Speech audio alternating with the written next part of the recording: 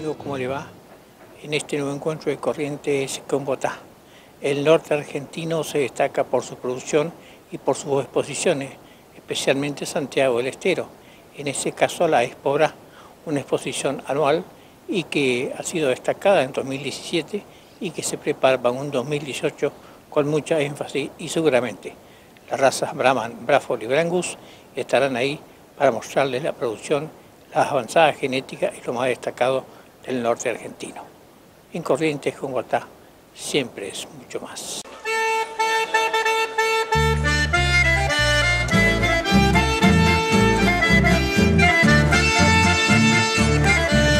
Alejandro Becerra, bueno, una tarea ardua desde ayer que ha comenzado con las hembras y terminando con los machos. ¿Cómo le va? No, en, en primer lugar, gracias.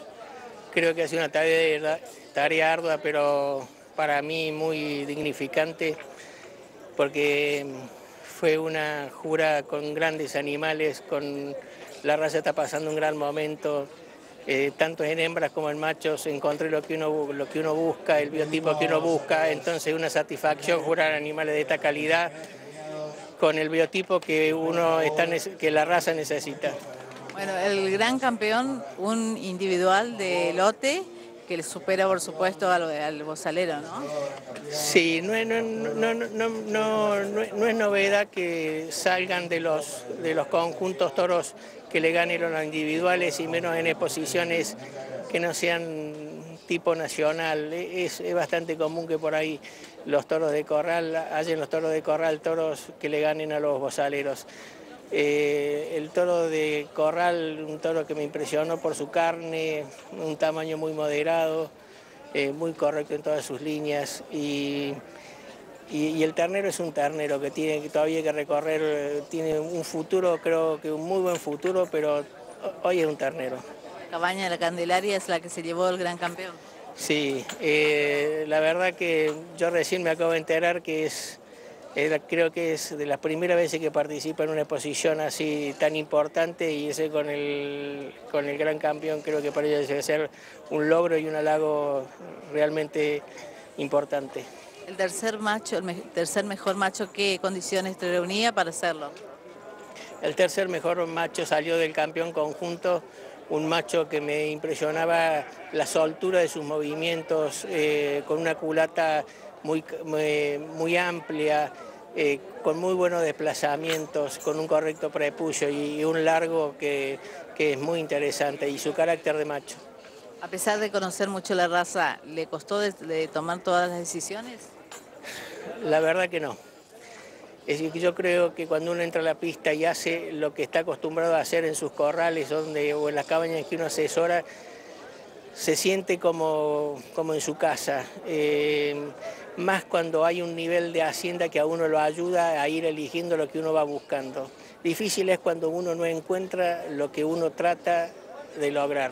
Ahí se complica, pero estos dos días la verdad que fue una satisfacción trabajar en la pista y acá en los corrales. Bueno, le ayudó su hijo y también un, un extranjero muy amigo, por supuesto, como un paraguayo, ¿no?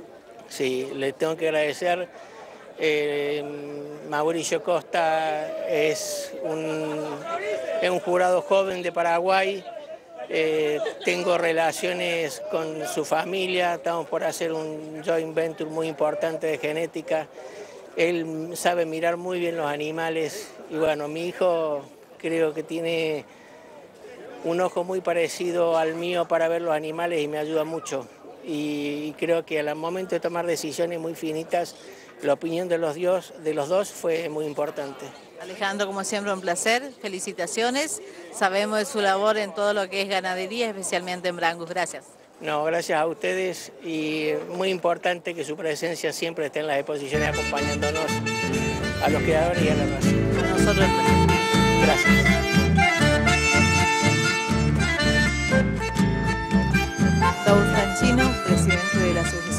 Argentina. ¿Cómo le va? Buenas tardes, bienvenido a nuestro programa.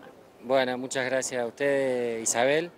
Este, muy contentos por estar acá en la Expo digamos que año a año viene creciendo en volumen y cantidad con las razas colegas, con Brangus y Braford. Así que muy felices por la jornada que estamos viviendo este, con todos los criadores y, público en general. Bueno, el nivel muy bueno, es así que una sola cabaña se ha llevado el campeón y la campeona, ¿no? Así es, este año es la cabaña Don Julio de la familia Ale eh, tuvo la, virtud de, elegir y este, tanto la, gran campeona hembra con, una, con un ternero y a su vez preñada, que es un mérito doble, y un toro también este, muy destacado, muy moderado, como decía el, jurado, así que felicitaciones a ellos este, por este doble campeonato.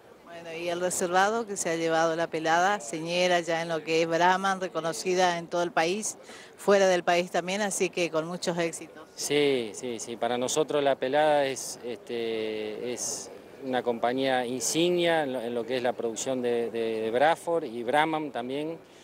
Este, sin duda eh, ellos participan en todas las exposiciones, nosotros le estamos muy agradecidos a ellos porque eh, son la cabaña líder, tanto que participan en Palermo, en la Espobra, en la Nacional y como criadores, digamos, nos demuestran año a año la calidad y la genética que tienen sus reproductores.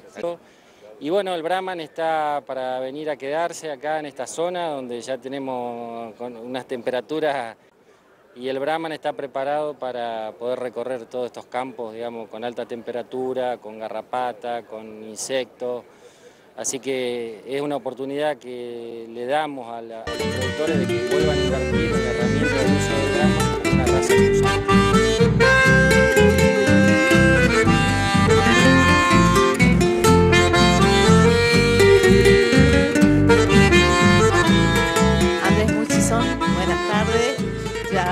terminando esta jura. Felicitaciones por estos logros. Bueno, muchísimas gracias. La verdad que todavía no caí.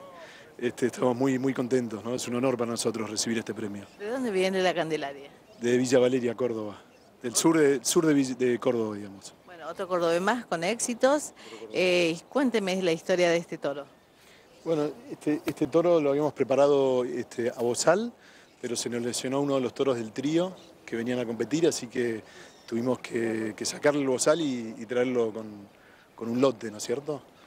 Y es un toro picante, es muy, muy lindo toro, profundo, este, muy, muy carnicero. Y la verdad que, bueno, es lo que buscamos, eh, criar nosotros, ¿no? Así lo dijo el jurado, que era un toro muy carnicero y que por eso fundamentalmente lo eligió. Pero, ¿qué edad tiene? Tiene dos años, tiene justo dos años y dos años y dos meses, es de, creo que es de mayo, ¿no es cierto?, desde otoño, es un toro de otoño. Este, bueno, y nosotros somos una cabaña originalmente de Angus, o sea que hace, hace relativamente poco estamos compitiendo en Brangus, pero bueno, la verdad que nos gusta, es una cabaña que conocida en Córdoba por el Angus Colorado, más que nada. Bueno, ¿y cuántos años hace que vienen acá o es la primera vez? Es la primera vez que venimos, así que... Qué buen logro, ¿no? Sí, la verdad todavía no lo puedo creer, como dije. Un logro para nosotros, no lo hubiese imaginado nunca. Qué, alegría y seguramente para toda la familia de, la Candelaria, a todo el equipo que tiene trabajando, por supuesto, y bueno, felicitaciones. Sí, en especial me gustaría mencionarlo a Leonardo Gallino, que bueno, hace años que trabaja con nosotros y bueno, lamentablemente no pudo estar hoy, pero bueno, también dedicarle a él el premio que, ha puesto lo suyo, ¿no? Todos estos años. Muy bien, felicitaciones por estar por primera vez acá, por apostar y por, por creer en el toro, ¿no? Sí, muchísimas gracias.